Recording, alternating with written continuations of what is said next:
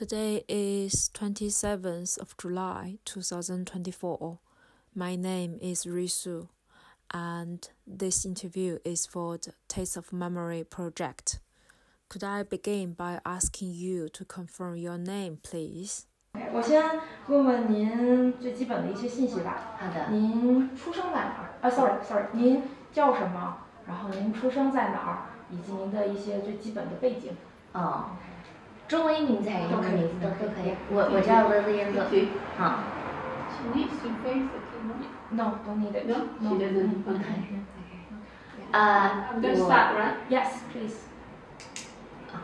好，我姓陆，但是就是长期以来我还是用我的英文名字，就叫 Lilian Lu。嗯，啊，因为我的以前在香港住过，所以我的姓就是有点跟那个广东人的拼法。嗯，OK。那么您在哪儿出生的？啊，我是在上海出生的。嗯什么时候去的香港？我是八十年代就离开呃上海了，啊，先去香港，后来我去美国。嗯。那为什么去香港？为什么去？因为在那时候就是改革开放初期吧，大家都是家里有海外亲戚的都移民啊、去国外，可能觉得那时候教育的机会和和经济呃你以后求就是求职这个机会比较好吧。嗯，那您刚才说教育，觉得外面的教育机会比较多或者比较好，您的教育程度现在是？呃，我是就是念完一个 MBA 的，嗯，在在在法国的那个 INSEAD，嗯。那这么一看，您在美国、在香港、在法国、在英国有各种各样的。不同生活经验。那请问您现在的呃家庭情况是什么？呃，我以我现在家里有，就是我跟我先生，我们有两个儿子，都是 teenager 了，一个一个已经老大已经成年，今年要去念大学了。嗯嗯嗯。那您现在的工作是什么？其实我主要时间就在家里，就是我等于说是我是管他们，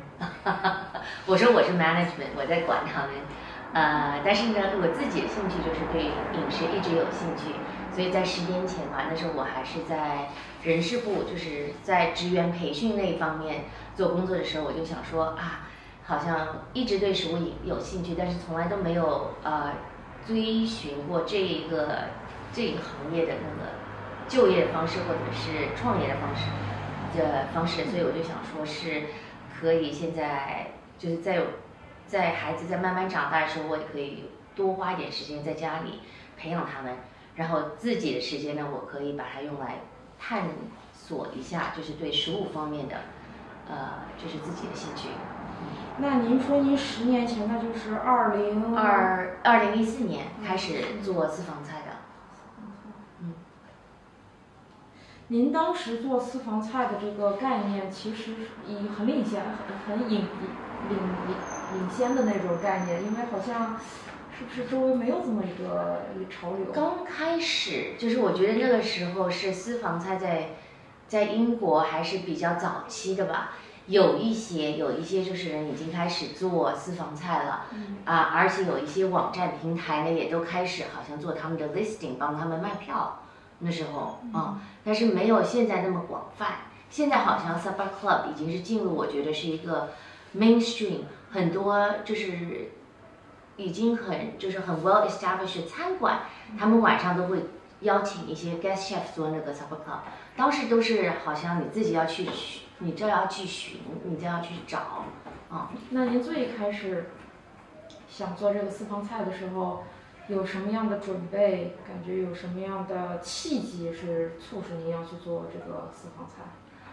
其实刚开始的时候，我只是想说啊，我非常喜欢饮食啊，我想创业做一个好像在饮食行业的创业家。但是呢，我是因为我的背景都不是饮食行业的，从来也没有受过任何的去培训啊，或者也没有上过任何烹烹饪学校，所以就不知道该怎么样创业吧。所以跟刚开始的时候，就是跟很多人聊天啊。呃，有朋友介绍说啊，我认识某某某某在做一个 food truck 啊，或者是在一个 food market，他们也都是转行进去的，你可以跟他们聊一下。所以刚开始的时候，就是完全是在用一个探索的方式去寻找应该怎么样进入这个饮食行。因为你记不记得第一个您服务的客人？啊、第一个其实是我身边的朋友圈啊。那时候开始我就想说，哎呀，要去做他那时候因为那个在那种美食市场啊，公开那种呃露天美食市场还不是很普遍，所以开始的时候有一个朋友的朋友介绍人，那个人呢他自己已经是在 Leadenhall Market 做一个 burger 的那个好像 pop up，他就说。你要想清楚，在英国这样就是风吹雨打的天气，多过是天气也太阳出来的天气。这种天气不好的时候呢，你在那里在风吹雨打的情况之下，你可能站在那里都没有客人来的。你每天这样在外面，你有没有这样的思想准备？第二，他就说，在你做一个 food truck 或者是 food market 刚开始的时候，好的位置是拿不到的，你要做到走到很伦敦很远、很边缘的地方去，而且在你开车过去的路程之上，你有没有做好准备？你车子可能会抛锚，会要换这个轮胎会坏了，或者你一个人在下雨情况下，你要把一个帐篷搭出来，你有没有这样的思想准备？我就想说，我是喜欢饮食，对食品有兴趣，但是其实没有想到有那么多跟食品以外的那个 logistic 的问题。其实他讲的很对，我就想说，我心里没有这个准备，我不想去做这个事情，所以就把那个做 food market、food truck 的事情马上就取消掉了。一一周内跟人家，我就说这个不是我要想做的事情。然后我就想说啊，我可以 cook，所以朋友也就说，那你先你做一餐饭，我们来吃，然后给你提供一些意见，就是你做的这这些饮食会不会有人愿意花钱来就是买做一个外卖啊？那我就说好。所以第一顿饭其实是没有付钱的，各位就是身边的朋友，一群妈妈圈子里面的朋友来说，吃了以后大家对对我的那个飞板都非常好，他们说非常 delicious，very unique，很 tasty，绝对会愿意，就是我们愿意吃这样。如果有人提供这样的饮食，我们愿意，呃，就是把它去做一个 takeaway 带回家里吃。那您记不记得当时您做的什么菜？其中很典型上海菜，好像炒炒青菜啊。做的上海的锅贴啊，红烧肉啊，呃，这种菜都是因为我我在想说，OK，如果我要进入饮食行业的话，呃，我自己的就是优势或者我的特点是什么？所以我看一下身边，我觉得其实在国外的话，就像您说的，很多人把中国那个饮食去为了为了作为一个商业的，好像商业的目标。呃，对他们是一个就是好像是养家糊口的一个生意的目标，所以他要去迎合本地的口味，对吧？这样他才可以 commercialize。所以我就想说，我做这个是从一个爱好，我自己对饮食的热衷，我先生愿意支持我，就是说我放弃了我的一份工作。他说：“你只要答应我不开餐馆，还说 我就只在就是在就是经济上面我没有这个压力，一定说我做这个私房菜要可以赚钱作为我的 salary 的 replacement。嗯，所以我就说我其实有这样的一个呃 advantage，我有这个 luxury，所以我去做我的中国菜，我不一定要求就是说一定要把它就作为 commercial 是我的 key key 那个 success factor。对我来说就是做我。自己的 passion，be truthful to what I wanted to do，是我的 KPI。我我 get 一个 enjoyment，我自己的满足感，我的成就感来自于我可以，呃，很 honest 的追寻我自己的 passion。啊，那这样的话，您说您家里人非常支持你，对于您家里而言，您做成，比如说这种 promote 上海上海 Miss 这种 cuisine，您家里人会怎么看呢？会觉得也非常 proud，或者是对，就是也是这个慢慢的一路的一个演变的过程吧。因为之前在我做私房菜之前，我是一个你可以说是一个全职的妈妈，我是个职业女性啊，所以家里很多饮食我有空煮了，也不会就是其实中做中国菜很花时间，对吧？一顿饭的话，你至少四菜一汤的话，你要切很多，买很多菜，切很多菜。所以我在工作的时候也没那么多时间，偶尔做一下菜，也不会刻意的去做上海菜啊、中餐啊。反正而且家里有保姆帮手做菜，反正只要一顿追求在饮食上面很 nutritious 的、很 healthy 的 food 就好了。但是没有刻意追求一定要做上海菜。所以当我开始开始做私房菜的时候，第一个挑战就是要去寻找那个 recipe，我就发现其实十年前在伦敦也没有很多上海餐馆，我自己离开上海也几十年了啊，所以那时候在上海也没有学做菜，家里都是我阿娘做的菜，所以在厨房偶尔他会进来说：“来来来，你来试试看这味道对不对？”我都不知道他怎么做的，所以刚开始就找我妈妈，找我姨妈，然后上网找那种下厨房啊，中国不是很多现在网站上面，但是上海本来就是一个移民的，我就说一个很移民的一个城市吧。我祖母那一代就是他们都是江浙那一代的人过去，所以那是那是那个年代的口味。现在呢，就是全国的人都移民去上海，所以你我一打开那个食谱，它里面用蒜啊，用辣椒啊，用那个呃海鲜酱啊、蚝油啊，这些都是我们那个年代没有的味道。所以如果我是在追寻那个年代的味道的话，我就说这些菜谱我不用看了，一看那个 list of ingredient 就不是我要找的，就是不一样了，对吧？不是我要做的那个老老式的上海菜的那种味道了，呃，所以所以刚开始的时候是我在慢慢慢慢自己研究那个 taste，然后找寻我自己做出一个 recipe 啊。然后在这个过程中，孩子们家里人都吃了很多我的 mistake，我的我的 experiment，但他们觉得很好吃啊啊，所以在这个我就在追寻我自己这个我的梦想的这个过程之中，慢慢的不知不觉我把小孩子的口味就是把他们养成一个爱吃上海菜的人了，从完全以前不知道什么是上海菜，不不是很了解，到现在我的孩子们就会说啊。我最爱吃的早餐就是一碗荠菜猪肉馄饨汤，所以我就觉得啊，在不知就通过饮食，我跟我孩子之间建立了一个 culture 的一个一个 binding，我把他们就是 enculture 到那个 Shanghainese culture 里面去了。那您觉得您这个会呃跟把您跟您的孩子的这种 culture binding，是不是也受您跟您妈妈跟您阿妈的这种我影响，或者跟您奶奶的这种影响？我觉得就是食品吧，就是它是 more than 一个 taste，它不只是你吃到嘴里面那种那种味道，它是我就说食品就是本本来就是一个很 emotive 的啊一个东西，所以其实你你记忆里记忆里面的食品，并不是那个味道，而是让它的它带给你那种 feeling，所以就是你吃到那种。所以我跟孩子之间吃，就是通过饮食吧，也就是也是一种 building 他们的那种 feeling of comfort，对吧？那您在嗯在这边，虽然您刚才有说做青上海青啊，或者是锅贴啊、红烧肉啊这些，呃，小孩儿喜欢吃，但您觉得您做的这个跟在国内做就是这种，上海大厨做的是一模一样的口味吗？还是稍微有一些偏差？我觉得就是饮食其实是一个很个人的、很 subjective 的，对吧？尤其呃，我觉得在国内就是中餐里面很典型的，你你出去吃的是那种大餐，啊，你去那个餐馆吃的那种好像 banquet food，他那个他那种餐其实就因为你很少这种菜，你不会在家里做，对吧？所以你吃的那个 taste 就是 restaurant 的 taste，所以有一个有一个好像 standard，有一个 benchmark。但是平时我做的菜呢是上海的家常菜，所以百家就是百家味，而且我就觉得我追寻的刚开始追，其实刚开始那几年，因为我不是一个 professional trained chef，就你会很 insecure，你有点 imposter syndrome，你就觉得说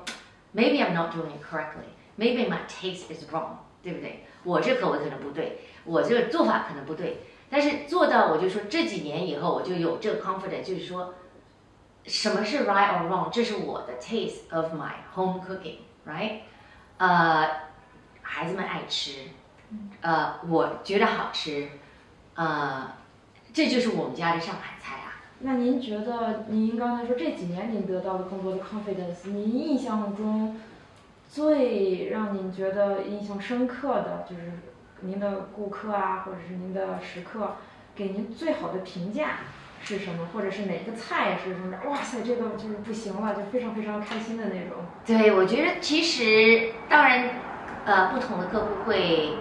会说啊，这道菜做的特别好啊，这道菜这里吃不到啊，或者这道菜怎么样怎么样，他们凭这个味啊。当然你会觉得啊，对，从作为一个就是 technical 的 perspective，就是说 I know how to make something tasty，对不对？这是就是你说一道菜正不正宗以外，第一好不好吃，你给人家吃到那种就是很舒服，味道很鲜美，这是很重要的。但是我觉得，当然是对我来说最有成就感的，大家都会说啊，这是 brings，就是这是完全就是像我家奶奶那儿做的味道，而且尤其是我妈妈那一代，他们我觉得都是大小姐出来的，我妈妈是不会做菜的，对，所以都是我我阿娘那一代他们会做菜，但是我妈妈那一代反而平时做他们吃做菜也很简单，自己也不吃。那时候她呃嫁到我爸爸家的话，也都是我阿娘做的菜，她不下厨房，所以很多的，就是我客户群里他们也不是说都是他们家姥姥啊、奶奶啊、阿娘啊，就是那那一代的，因为可能那一代小孩子也中国就是很传统，就是那个 child care 是你的 grandparents 嘛，所以我就觉得 food 你可以给人家一个 emotional 的 fulfillment，好，这是比你可以让他吃到嘴巴里好吃更重要，对吧？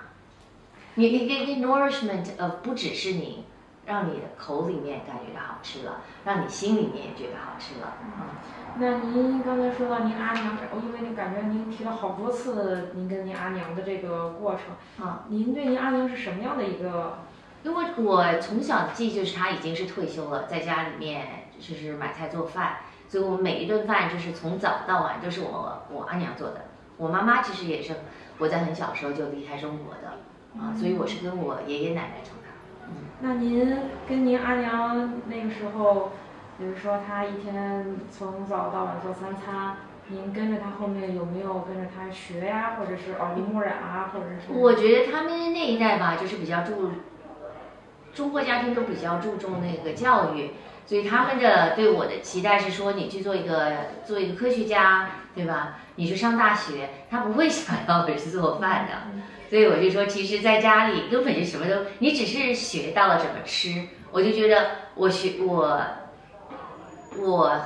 很多人都说我的 taste palate 很好，但是我觉得这个就是 training，就是从小家里 training 出来的啊。那您，因为您说您妈妈是完全不做饭，然后现在您是做这种 supper club，您妈妈对您现在做的这个工作啊，或者是嗯做的这种事业吧，嗯有什么样的想法，或者是她支持还是？她当然是在我面前，她是非常支持的，她也觉得我做的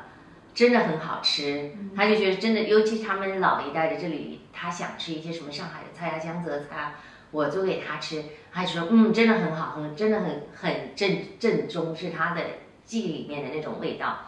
啊、但是他在我背后，他跟我表姐那聊天之类，他可能就会觉得，哎呀，去念一个 MBA，那个念的大学生那个硕士，到弄到最后还是在厨房里面。其实这个也比较，我们也比较，呃，好奇的一点是在英国嗯也有很多主厨，他们的第二代啊、第三代，并不是所有人都是一直在继续他们的厨师工作。很多人像有一些他们的第二代就说，那你去学会计啊，去学银行啊，或者是去学医生啊。呃，但是后来发现，等到他们第三代的时候，有一些人还是回来继续做他们的嗯厨师，就是嗯主厨啊或者这样的工作。这个时候我们就有在想，会不会这种隔代啊，或者是基因的这个因素影响到大家，还是会觉得说，哎，如果你上一辈或上上一辈你有这样的记忆或者是这样的经历，那你下辈或者隔代的下一辈嗯还是会继续这样的记忆。呃，我觉得不一定，因为我们家里并不是做厨师出身的啊。我爷爷他们都是小，我爷爷奶呃奶奶还有我外公、我外婆家都是怎么说都是资产家吧，所以所以跟饮食并无关系。但是我就觉得，在这跟文化，在各个文化里面对厨师的评价，就是他在社会上面的地位，呃和他的背景，我觉得是有关系的。呃，在中国就是历史上面都是比较就是重视念书考状元，对吧？呃，所以其实然后再从商，然后就是你做一些比较 manual 的工作呢，社会上好像对你的评价不是很高啊、所以我觉得就是一直以来都是大家都是有希望可以自己嫁给孩子鲤鱼跳龙门那种感觉。所以这是我觉得是在这是一个在文化里面很根深的一种偏见，啊，然后在国外呢，很多人移民来做饮食的，他本能他可能就是唯一，这是他求生最方便、最快捷的一个方式，因为在语言上面他可能有有呃障碍，呃，他的可能一些 professional 的背景，他也没办法，就是可以到了一个新的国家用得上，所以他们就是找一些比较最容易、门槛最低的可以进入的一些行业，呃，作为一个赚钱的方式吧。好，那就是您现在毕竟有做十几年做 supper club，我想问问，就是您跟这个 supper club community，比如说现在在伦敦的这些 supper club community，有什么嗯合作？您觉不觉得您是他们的中的一份子？有没有什么 supper club 这种 association 啊？嗯。然后定期有没有什么互互相的这种见面啊、沟通啊之类的？呃，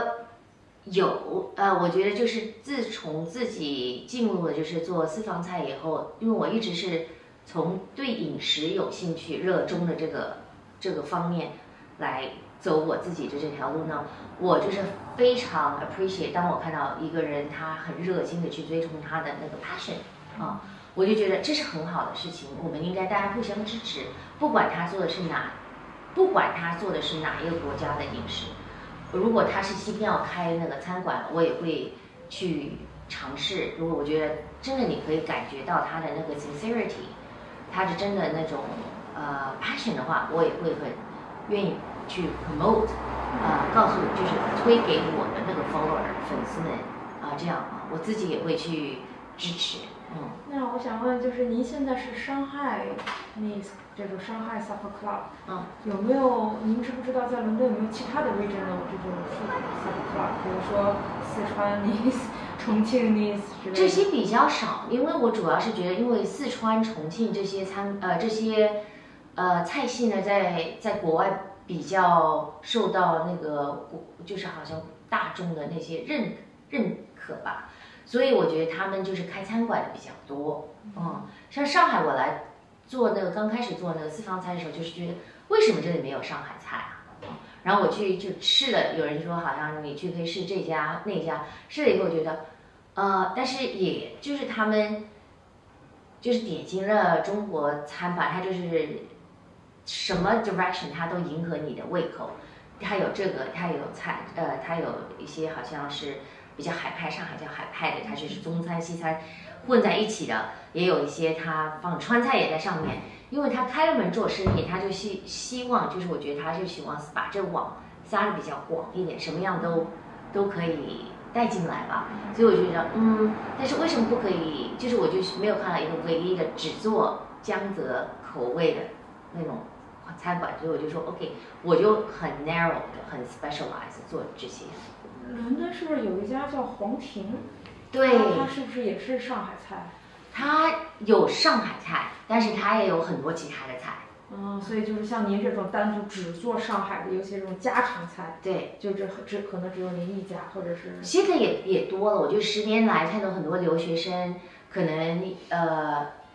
留学生来英国的量也大了啊。然后有很多留学生也是因为像您说的，他们可能也没有经济的压力，父母在后面支持着，所以他们觉得啊，其实很喜欢饮食。呃，在英国也吃不到，所以也出来做私房菜了。所以整体来说，我自己的感觉就是说，越来越多的人人出来，来就是 promote 不同的就是中餐的饮食文化，其实就是水涨船高吧，都是一个好事情。其实我们应该互相支持，互相 promote 的。那您觉您刚才也提到留学生这个，我也是这几年也也发现，像比如说，留学生现在慢慢会开那种。比较快速的，比如说像 noodle bar 啊，或者是这种 bubble tea 呀、这这这些，您觉不觉得，如果 in the future 像有这么多各种各样的学生再开他们自己的，可能有 similar idea，像您这种 supper club，会对您有一些 competition 吗？或者是一些 threat 之类的吗？会不会？呃，我觉得当然是你越来越多的人啊、开的话，当然是你的 competition 越大。但是就像我说，我自己的个人看法，这是我自己的 philosophy，我就觉得你要互相支持吧，大家都是因为我们我们前提的目标都是要 promote diversity，对不对？中餐的饮食的 diversity，呃中餐饮食的那个它的美感、审美感，我们要大家都在提倡，就好像中餐饮食其实可以是 very healthy、very holistic、very sustainable，这是要大家一起合作才能达到的目的。我不能看到人家新开的餐馆就觉得啊，它是我的 competition，不会的，因为你我也我觉得就是不可能，你开你可以 capture all of the market，it's unrealistic。我觉得更好的就是你更好的一个前提啊，是大家都把这个 market 越做越大。因为我刚开始做 supper club 的时候，有一个 feedback，一个朋友圈里面的 feedback 就是外国，他是个外国人，他就说，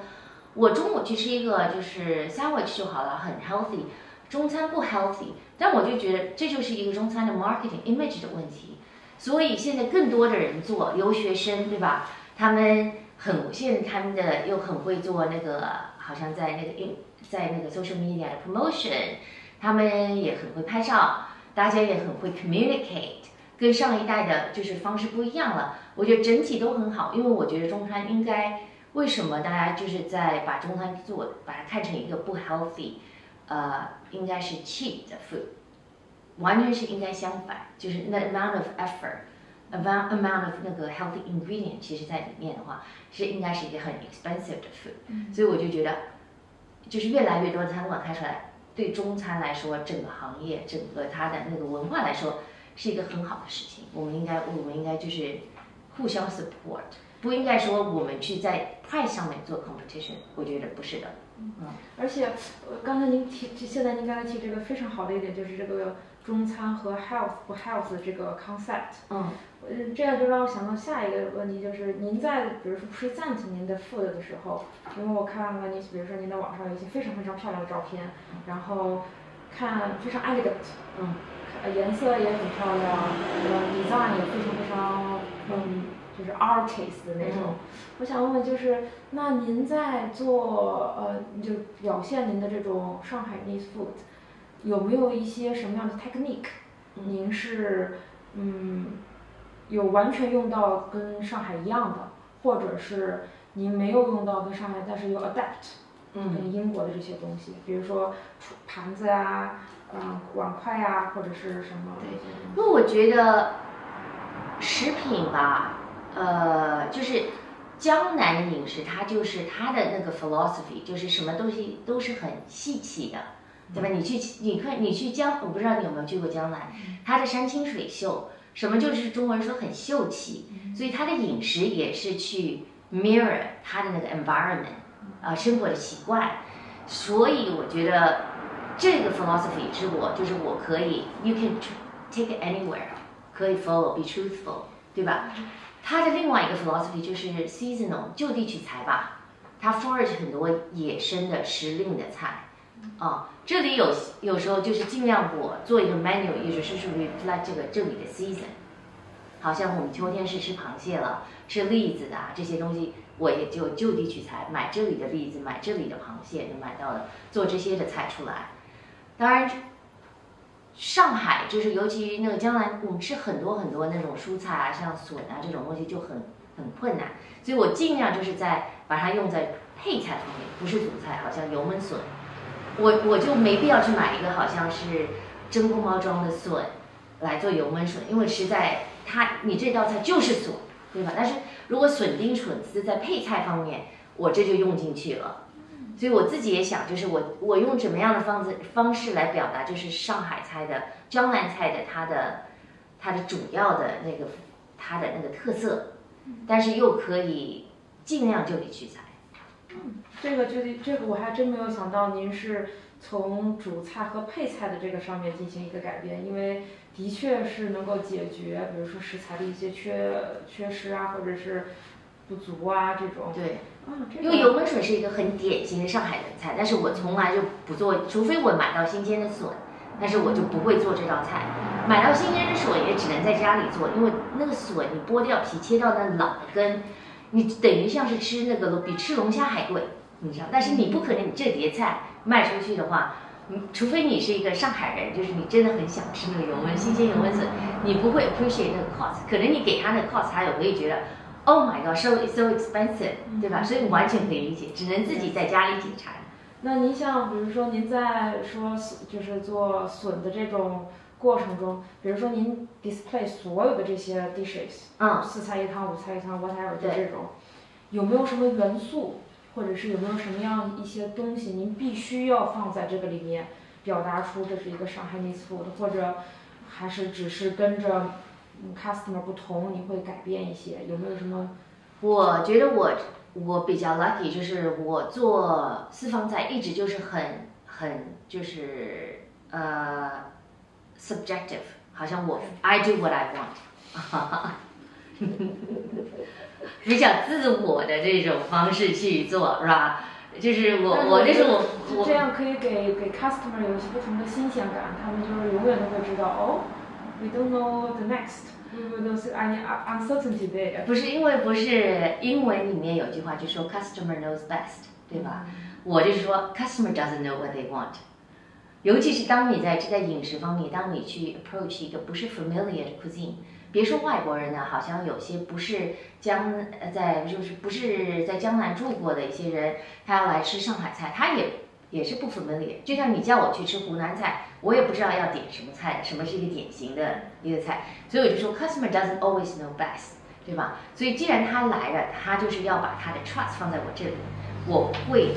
很 treasure 他的 trust，我不 abuse 他的 trust，对吧？因为这你只有一次了，所以你 trust 我来给你一个很就是完整的 holistic 的一个 meal，就像你说从配盘开始，我先想这个季节是这个季节了，我们这个在上海会有一些什么样的季节性的食品，去是 mark 那个 season，好像中秋啊、清明啊，呃，我把这些食品可以带进来，对吧？然后呢，还有这个季节呢，会有一些什么样的食材我可以带进来？如果在伦敦没有的话，那我是要做季节菜。在伦敦有什么季节的菜，我可以把它带进来，用就是上海那种江南细气配菜的煮烹饪的方式，把它把它就是反映出来，做一个这样的菜。然后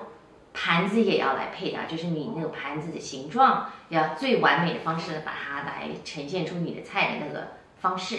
啊。然后，呃，哇，尤其所以想到你，您之前问我这些盘子来源吧，我我每次旅行我就会带一大堆盘子回来，有些是从意大利带回来的，有些从从葡萄牙带回来的，日本啊、澳大利亚啊、南非啊，就是我就觉得它那种不一定就是它的盘子是一定要中餐形状的，它是那种完，我觉得最主要是它有那种审美观念是符合那种中国的那种审那个江南的审美观念符合的，我就把它融进来了。那这样的话，customer 肯定会很开心，因为他们不光是可以吃到中国的吃呃食品，同时他可以看到不同文化的，从盘子上面就可以看到不同文化的表表。就是他那种文化，饮食文化的表达。对对对。哦，OK。那么还想问，就是在您比如说选盘子，可能是从您的旅行的这个经历，嗯，可以得到。嗯，然后您刚才说季节性，你也是跟着伦敦的，或者是这些取材取材。在您开发您的食品的过程中，呃，有什么您觉得让你很开心的，但同时又觉得非常富有挑战性的，富有困难的东西？对，呃，我觉得其上海点心，因为上海你住在上海的时候，其实你你应该知道，在国内的话，点心不会在家里做的。每天早上你走出去，路马路边上就是一大堆包子摊子啊，呃，油条啊，呃，什么吃饭啊，豆浆这种，你永远不会在家里做的。但是这种东西你留学生，大家就是很多客户也特别想吃，我自己也特别想吃，那就要去研究怎么做。这个我觉得要做到就是它的口味、口感，而且它的那个 consistency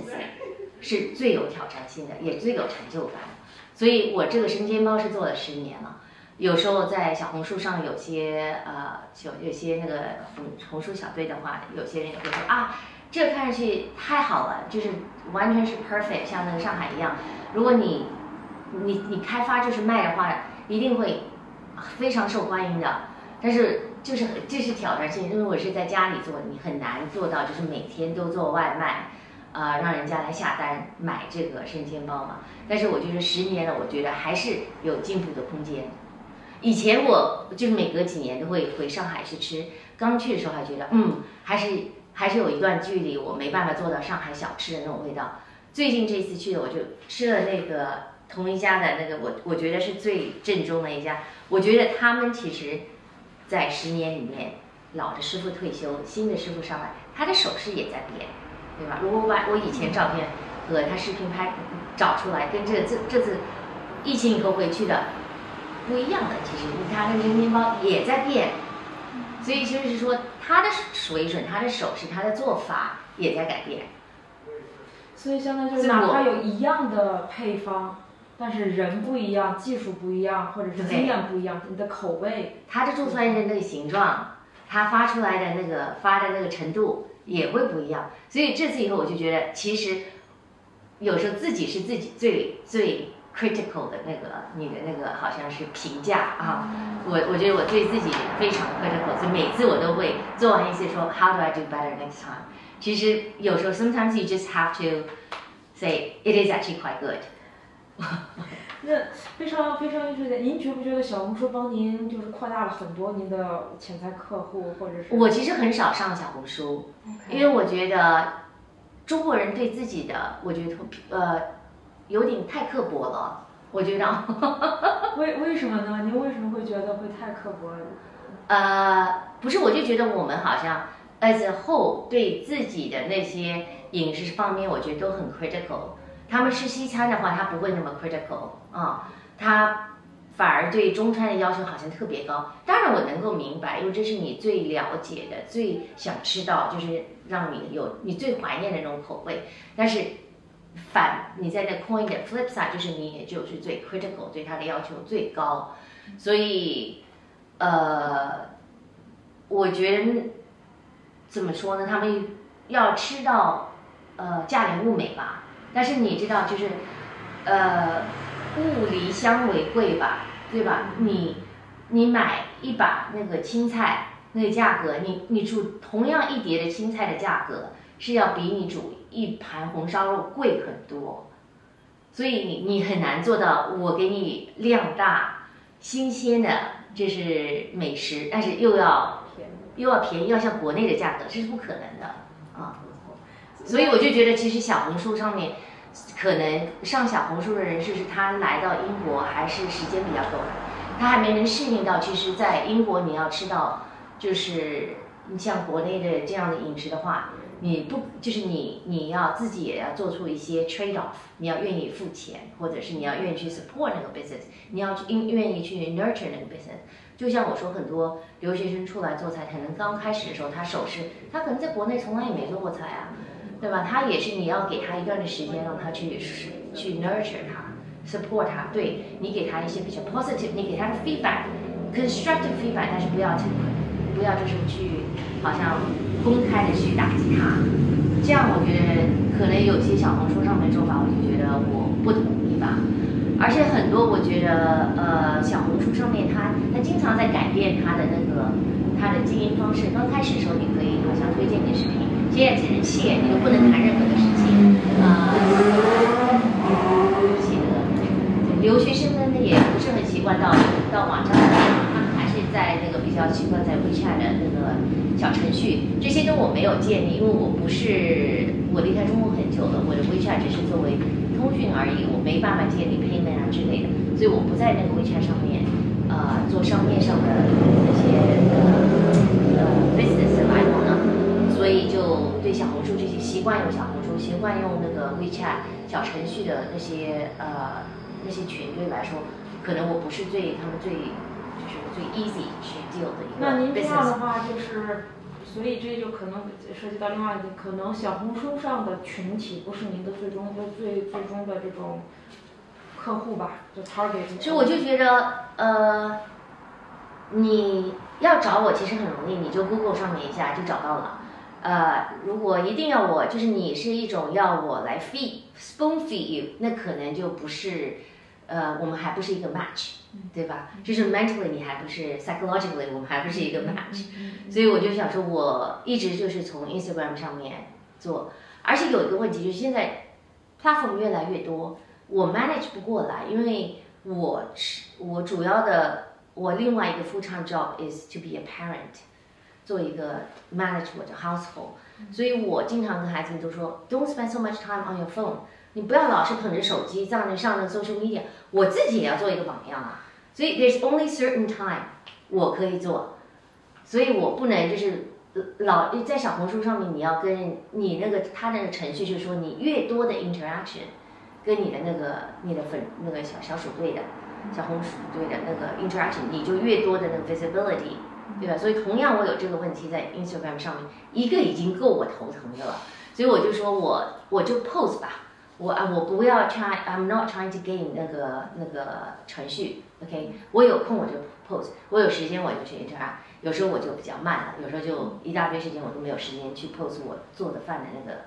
呃放在上面，but that's okay，啊，我就慢慢来。因为我看过以前有一些 chef，呃就是 from Supper Club 这种 chef 嘛，他们会定期在 Instagram 或者是在 Eventbrite，以前是用的 Eventbrite，会会 post 他们，比如说。Next time we will have a open supper club 这种 eating dinner，呃，sorry eating evening 或者是 dining evening，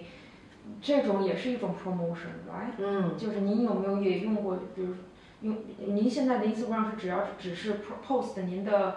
一些照片啊，跟食品的您上海菜的照片，还是用也是可以，比如说 call for，呃，dining together。都有都有，这是我第一就是作为一个。一个一个 sharing 的 mechanism，因为我刚开始的时候，主要目的就是说，I want to promote Chinese food，I want to promote Chinese food，对不对？我要让大家就像您说的，要让让他们看到，其实 Chinese food is very elegant，very refined，looks very healthy，it's vibrant，and it is high end。我就说我不要，我不要做一个 cheap Chinese food。我就说我们其实，因为我在日本也住过，在在日本的时候。 就他就是个审美观很漂亮，对吧？从来没你从来不会见到一个人家他们会说日本菜为什么那么贵？他们就觉得日本菜嗯是贵的，it's 应该是贵的，这是一个 treat。但从来没有，就是很少你会看到人在在海外，就是他们会有对中餐有这样的说法。为什么说 Chinese food it should be cheaper，对不对？It's not healthy，怎么样？呃呃，所以我就说 OK，既然我自己的方式是。To share as a sharing to educate to promote，我就要做 try to elevate，就是把它真实那一面做出来。其实那这样的话，您觉不觉得您的除了在表达上海菜的同时，您以前在日本、在美国、在英国现在住的这种生活经历，都帮助了您嗯做菜的开发呀，或者是这种菜的呈现啊之类的，有没有？我觉得，我觉得就是每个地方我住过。的地方对我的就是个人的饮食审美观念、饮食观念，呃，和就是包括我自己做念的那个 MBA 的背景，就是对我在商业方面的那种看法，我觉得都有我自己的，就是他他就是 shape 我自己 unique 一个 view，how how I wanted to run my 呃 supper club，就像 for experience for experience，我刚开始的时候嘛，呃，在还在探索就是做 supper club 的过程，那时候有一个网站叫 Grub。Grub.com，它就是 list 很多这些 private event 一个网站，它也是比较新开始。那时候我在跟他联系的时候，他可能也在才刚成立大概一年左右吧。他就说：“哦，你是一个新开始要做这个这个餐饮的人啊，呃，你也不是 chef，也不是出名的，所以我觉得他就说我们的这些客户群呢，他们就是在找一个新的 experience，新的 unique experience。”所以他们通常出去呢，就是三十五磅左右吧，他一顿饭就可以了，他不愿意付多，而且他们回头率，他们就是会找 the next 新的 experience，他们不一定会回头。他就说你，我觉得你 price 的话就是三十五磅左右可可以了。我就想了一想，我就说 that's too cheap，对不对？如果我要做一个就是八道菜的一个那个上海菜出来，三十五磅一个人，那你做完以后你就会觉得实在不值得。你我就好像说你在跑步的时候还没有起步，你已经觉得这条路已经会太累了，不要去跑了。那我干嘛还开始走这条路？所以我就 ignore 他的那个 advice，我就说我要做的就是说让大家知道，先看就是 Chinese food，呃是可以很高级的，and you should pay for it，you should pay for the effort，right？所以我就 price at the highest end of the market。他就他就说他们那些好像 Michelin Star Chef 出名厨师可能卖到五十块钱啊，一个可能是 three four course 那种 meal，我想说我给他八个 course，八八碟菜吧，然后我就我也是五十磅一个人，当然很多人身边也有一些人也会说哦，that's actually very expensive，对不对？我就说对，但是那是十年前，就是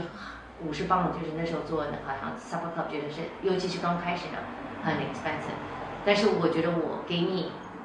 我给你一个给足量，给足你的 experience，给足我的 effort，所以你可以觉得 it's a high price tag，但是 it's good value，因为我觉得 price 跟 value 是两回事儿。嗯，那您刚才说就是像那些 Michelin chef，他们在做，比如说现在大部分都是 five courses 或者是 seven courses，会有甚至可以到 nine courses。您在做，您这八道菜是一下子上八道吗？还是？对，现在就是其实我刚开始的时候是十道菜。现在我就做，因为我就想让它那个 flow 快一点。我还是就是在在不停的过程中，我在 optimize。我觉得一个 good dining experience is more than food，对不对？你要一个 emotional tie，就像我说的，所以那个是 storytelling。所以我一定要出去跟我的客户们，呃，就是跟那来参参来参加我 supper club 人有一个 interaction，to share my stories。为什么这个 food 是 special？因为这是 emotional。所以我觉得这是我也是。作为 supper club 提供的一个方面的一个一个东西，可能餐馆提供不了，你去餐馆会觉得比较 impersonal。另外的呢，我就觉得时间不要太长啊，因为你你你在一个呃不是很 professional kitchen 做，有时候在家里做，刚开始在家里做，后来我去其他的那个 pub 借他们的 kitchen 做，但他们的 kitchen 也是很小，其实那个设备也不是很好的，所以有时候时间会比较长。偶尔还会有出现一些问题，他们什么 something break down，就是你在用它的时候，它的火候不够啊，花的时间比你想象中要更长，所以我就觉得 drag too long 的时候也会影响一个人的 enjoyment。所以大概如果我可以到两个半小时左右把整个一十道菜都上完的话呢，其实就最理想了。啊。哇，两个半小时做十道菜，那所以后来我就是说，OK，maybe I remove one course，我把其中一道热菜，因为热菜是我最难控制时间上桌的那个地方，所以我就把一道热菜 remove 了，因为就是我我冷菜还可以提前都准备好，所以我甜品也尽量做一些可以配合我热菜的，呃，不需要可能花太多时间的，呃，这样的话你就是整个把这个整个 timing。呃，就是控制的比较稳定。所以你有有有去在设计考量说热菜、凉菜、甜品他们的这个，我想到那个口感、色泽，对吧？呃，就因为每对我在做这整整个就是一个菜谱的时候，我都会想说，呃，颜色方面啊，呃，是不是太多就是像好像都太多 brown food，呃，因为我不喜欢就是人家说 just put some flour on it，但我就觉得。只是这就是很肤浅的一种方式，去很肤浅的一种审美观是吧？那我什么菜上面都放了很多花，这跟你吃的都完全无关。那我就想说啊，我在冷菜方面要换一个，一个 brown food 要换成一个绿色的，或者换成一个呃黄色的或什么色的，然后想肉跟菜的一些平衡，豆制品跟其他的一些平衡，呃，在形状上面的一一些平衡，有些是切丝，有些是剁块。有些是切的很细的，呃，有些是炸的，有些是煎的，有些是水出水的，就在整体上面我都要想清楚。然后我在想，OK，如果我已经呃头盘上面放了猪肉，那我我热菜里面就做鸡或者鸭，这样想法就是整道菜你让它有各种各样的海鲜，呃，就是有河鲜海鲜，呃，就是家禽猪肉，啊，菜跟豆制品。然后再想在口感上面脆的、糯的这种想法，把它都配合上，嗯，就相当于是在吃您这么一个 experience 的话，呃，顾客他会有各种各样的，应该是一个 full experience。对。从呃 texture，从 flavor，嗯，从各种各样的 visual，就是 multi-sensory 的这种一个 experience。对，我觉得这就是像之前我们谈到我在各个国家就吃过他们的饮食吧，好像尤其在日本，它有很多都是开 seki 或者是 course menu，他们他的想法，他每一道菜他就是这样开始有汤的，有它好像是就是腌的东西是 pickle 的，然后有一道生的、煎的、炸的，对不对？它就是把各种的，就是烹饪的手艺做成一一道的主题，然后呢，它的材料才来配合。然后你就想说，像那个 French dining 啊，好像西餐里面，它也会用用颜色，啊，各种的各种颜色来配合，就像各种不一样菜有不一样的颜色啊，或者是鱼配就有海鲜有肉这样配合之类的。然后那个 texture，所以我就把这些都是学到的东西带进来。还有就是我自己我自己的想法，就是我觉得，呃，在食品在不食品是一个在不停演，就是饮食吧和菜系在不停的演变的。以前可能因为 communication 比较慢，所以它演变的过程比较慢。现在因为是我是一个 information age，AI age，就是它的它的每次演演变的过程越来越快了。对吧？一个菜系就是，但是我就觉得这也是一个很 exciting 的事情，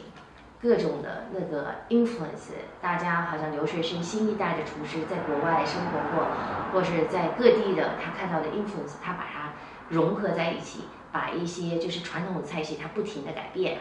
这也是一个很 exciting 的那个 development。但是在演变的过程中，也有有人去把传统的给保留了。我觉得日本在日本，我学到最让我就是 最有深刻印象的，呃，就是他们对文化的一种保留和保护，一些传统的保留和保护。所以很多人去日本，他要去日本旅游、去参观、去某一个地方、去吃某些东西，就是因为这是一个好像 living history，it's a living historical record，对吧？所以我就好像是非遗的那种讲法。所以我就想说，就是在上海做一个中国最大的一个一个一个演变最最快的一个城市之一，它的饮食，它的它的 make up of 的它的它的 citizen，它城市里面的老百姓的那个 make up 都在改变，所以它的饮食当然也是在改变，但是也有人就是需要在改变的过程中去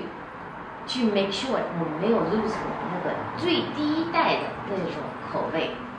啊。所以我觉得两个都有需要。您刚才说这个传统的时候，就让我想起来，如果根根据您的这个，嗯，过去这么多这么多年的这个历史，咱们回到最初点啊，当您的小时候，对，您小时候最喜欢吃的是什么？其实我小时候最喜欢吃的是我阿娘做的那个斋菜，他们两个是就是很虔诚的佛教徒，从二十几岁就开始吃，就是吃斋了。而且就是在江南的菜里面，我觉得中国的斋菜里面是江南那一带就是最 refined 最多的 variety。因为其实你去杭州那一带啊，寺庙就是寺庙连寺庙山里面都是寺庙，所以它就是一个也是就是在寺庙那些那个斋菜里面是一个发展最好的一个最我觉得发展比较 sophisticated 的一个一一个一个 area。所以我们家里面就是我。阿娘给我们做荤菜，她不尝味道，让我去尝味道。但是她就是做很多素菜，我印象最深、最喜欢吃的就是那些素菜。那您这些斋菜、素菜的东西，哎，记忆啊，有没有用到您现在上海？有些有，但是我就是像好像烤麸跟素鸭，这是我，呃，在我 supper club 上面是不能少的。就是有时候我说烤麸，有时候我做素鸭，啊，这是很典型的上海的斋菜。而且它这个斋菜已经是被融化到一个就是平时的，那个你去餐馆吃，大家都会吃烤麸，都会吃那个素鸭，你不一定是一个吃斋的人才是吃这两道菜。但另外有些菜呢，我没有做，因为我觉得这个是就像 food 是是 inseparable from memory and context，对不对？好像他做 scramble egg，我因为爷爷奶奶是连鸡蛋都不吃的，他就是用腐皮。新鲜的腐皮去 scramble，做出一个 scramble egg 来，这我就觉得你没有这个 context，你给人家一个 scramble 的那个腐皮，人家就觉得很奇怪，为什么这么简单的一道菜？所以这种菜就做，就是我觉得说我家里自己做可以，好像炒蟹黄，好像赛螃蟹不是，呃，对，因为对上海人吃螃蟹是你你你。是少不了一碟醋跟一些姜，甜甜的甜醋里面剁了姜末，这是少不了的。所以当你用胡萝卜啊，呃那个呃香菇丁啊，然后呃平时的那些土豆泥啊，把它剁得很细很细，炒在一起，然后加了这个醋的姜醋以后，就让你感觉好像你吃到是螃蟹的味道。但是你没有这个 context，你没有这个 memory 去吃，就好像是这个醋。姜末，甜醋加姜末是跟螃蟹在一起。你知道这道菜，你就会觉得这是什么东西啊？所以有些菜我就觉得你很难 translate without context。那您要是这样的话，呃，如您这些菜就不会给，比如说英国这种，像烤麸跟烤麸跟素鸭我会，哈，但是像好像是那种好像是塞螃蟹这种做法，素的螃蟹的炒炒螃蟹。呃，素的炒蛋这种我就不会做了，嗯，OK。但有很多菜就是很难做出来，因为笋是很大的，面筋笋啊这些，上海就是粗是做斋菜，对我印象很深的菜就没办法做。嗯，你刚才说就是呃不同的没有这个背景知识 context 的话，对于这个菜这个食物他是也不太会了解。那我想问问就是，您刚才有提到说您疫情之后也刚回去过上海。我去年吧，回回过上海。您回上海很频繁吗？不是频繁，每三到五年吧。每三到五年回去一次。嗯。OK，那您比如说，那您现在因为您的 Supper Club 可能十几年了，那应该是回去四，反正三到四四五到五次，三到五次。对。那您每次回去的话，有没有？去看看当地的，因为您刚才有提到这个生煎包，新的呃一些人可能味道也不太一样。嗯。那有没有除了吃除了生煎包，看其他的每一次您回到上海，这个经验，然后吃的这个经验，会不会 inspire 您在这边继续做一些？呃，会有，因为我我觉得是上海就是。这二十年吧，它的那个上海菜演变也挺大的。我记得，因为我九十年代的时候，九十年代的时候我在香港工作，所以那时候我经常会一年就会回上海，概三四次，这是至少的。所以那时候就吃到，我就发现啊，从那时候是九十年代末的时候，是上海菜走出家庭，啊，到外面的小小馆子了，啊，所以它有发展一些新的菜系了，以前家里没有的，因为那时候。八十年代的时候，刚开就是开改革开放的时候，食材也是比较缺少。后来食材越来越多，九十年代末就是非常丰盛的食材啊，各地都它的都有，就是一些新的菜系，就是以前没有看到过的。但是吃起来我还觉得哦，可以，就是你你可以感觉到它还是在骨子里面是一种江浙的那种菜系的那种菜。所以那时候就是还有杭州菜出来啊什么的。后来呢，到了就是后来那十年呢，就是二零零零年以后到二零一零年那段时间之后那十几年、二十几年呢，我就觉得本帮菜，大家就把上海菜、上海的口味演变成就是本帮菜的口味了。当我刚开始做私房菜的时候，我上网找。就是 recipe 啊，就是图片啊，找菜的时候也发现，就是大家都说上海菜就是本帮菜。后来我才意识到，就是后来我慢慢自己在研究琢磨，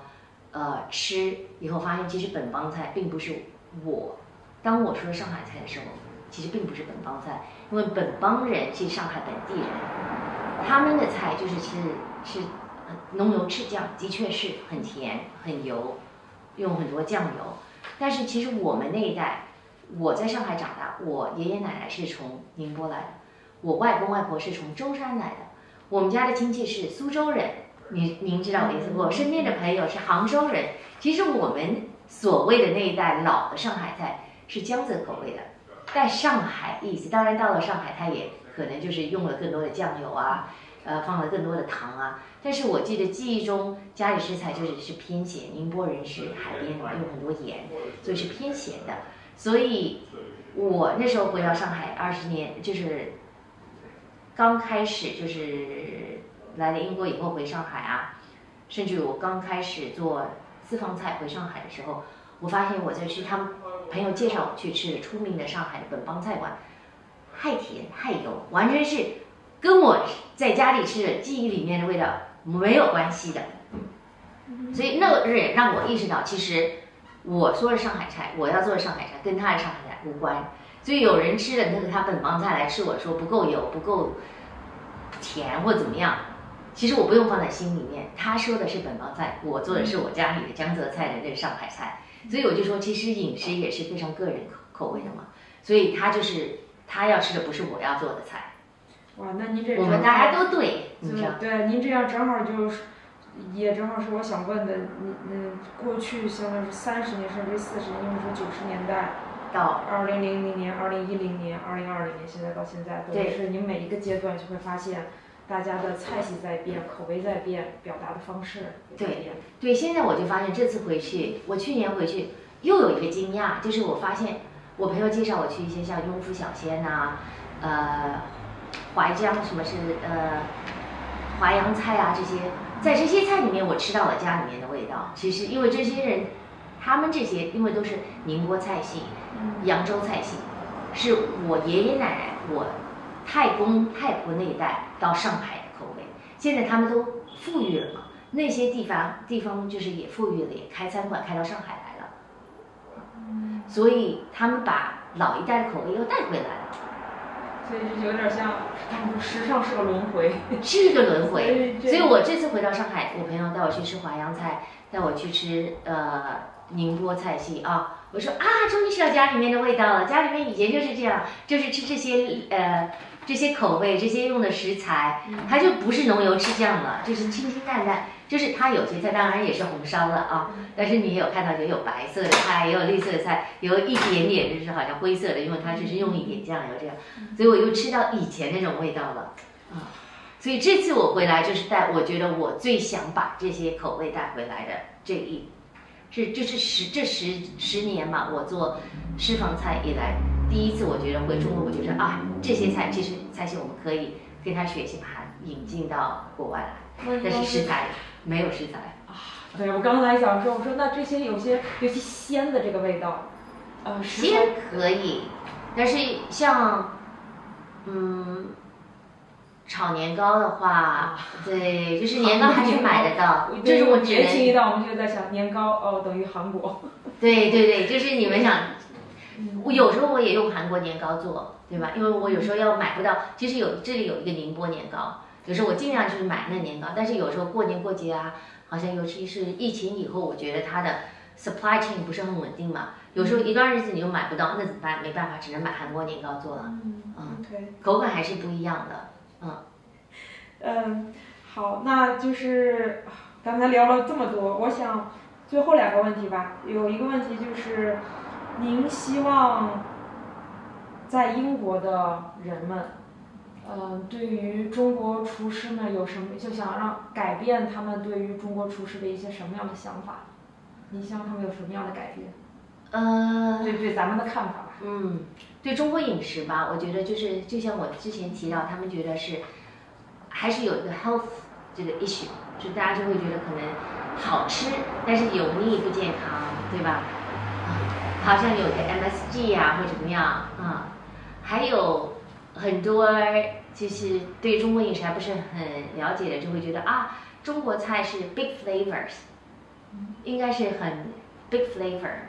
呃，应该有 chili 啊，呃，有 happy taste 啊，所以我就想说，就是说，其实中国太太广大了，对吧？所以你不可能每个菜系、每个地方的菜你都会觉得是一定是 heavy 的就好，没有一个人会跑到一个日餐馆去说 Where is my heavy Japanese food，对吧？他就会，他会就是愿意接受，他愿意去走进一个日餐馆，他愿意接受，其实就是应该这样淡淡、轻轻的，right？And、uh, 那个 flavor 很 delicate 的，他应该用同样的，我希望就是他们可以在看中国厨师的时候，看中国饮食的时候，也会进来，就是愿意 trust that is the way it's done。你应该去找那个 flavor in something more subtle。嗯。呃，最后一个问题，您作为 Supper Club，知道您现在最呃除您刚才说除了作为厨嗯 Supper Club 的这个负责人，还有一个最大的工作应该就是 parent，然后抚养您的小孩儿两个儿子。我肯我我不知道你想对于下一代、嗯 next generation，嗯您作为这种食品的记忆啊，或者是菜系的这种回忆，想为下一代传递什么呢？呃，我觉得就是现在我已经 train 他们的 palate 了，我已经把他们嘴巴养坏了。我觉得中国人最大的就是在饮食方面就很会吃，要求很高。中国人就是就好像有时候我有些我先生会回来说某某人给了一个餐馆的那个 recommendation，我就说他会不会吃啊？好像你有一个你一个 Asian friend 给你一个好像 recommendation，你就觉得嗯他们应该会吃的。所以我觉得对孩子最大的就是我 train 他们怎么就是怎么样有一个 healthy approach to eating。嗯，其实中国菜，我其实现在不是又很说那个 sustainability、environmental 那个 sustainability 怎么样吃法对 envi 对就是我们的大环境的的那个 footprint 最少嘛？其实我觉得中餐啊，而且像尤其是江南菜，因为这个是我比较了解的，我觉得他们对其实它本身的 approach 就很 sustainable，它 forage 很多 seasonal，它吃 seasonal，对不对？seasonal 的东西对对你对。就是在种植的泥土的那个需求是最低的，你的 transport cost 是最少的，而且你去吃很多野菜，你这些本来都是，你可以说是 pest，你是你的 garden pest，你把它拿来吃，对你的 healthy，也就是说你吃的 variety，就是不是现在那个 Zoe 总是说你一个星期吃三十个，我说我一顿饭就已经吃二十道不一样的那个 plant，因为这就是中国人吃法，因为你的 variety，你的 seasonality。而且你 forage，所以这些我觉得都是我教给孩子的一些，我我已经把它就是好像我 transmit 给他们的一种 philosophy，怎么样去 approach，他们怎么样应该想到他们怎样吃，而且饮食是养生之道，就是我们 food is medicine，这也是一个中国人很传统的想法，以前没有很刻意的意识到我们是这样想，就是偶尔好像身边朋友生病了或者是不舒服，你就说。你就吃一点这个嘛，喝一点那个嘛，他们就觉得，哦，That's interesting，哦，我应该怎么做？这样你就意识到，其实，在不知不觉中，你你自己已经吸收了这中国的文化，对，将饮食作为一个养生的一种方式，这也是我传给孩子们的一方面。Wow, seriously, this really interesting to me. 因为我就说我自己做饮食是一个不同的、不同的一个。approach，因为我今天就说，your success 就是有你，你可以从作为成功，你自己做你做自己的要做的事情，